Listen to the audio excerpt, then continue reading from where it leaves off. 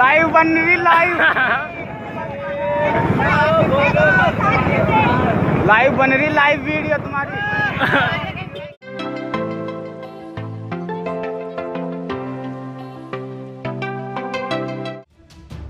नए motor vehicle act लागू होने के बाद कई जगहों पर इसका कोई असर नहीं दिख रहा है।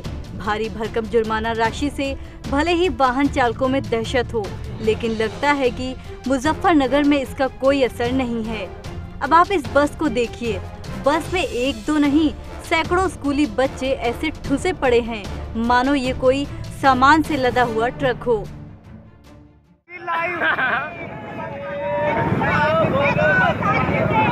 लाइव बन रही लाइव वीडियो तुम्हारी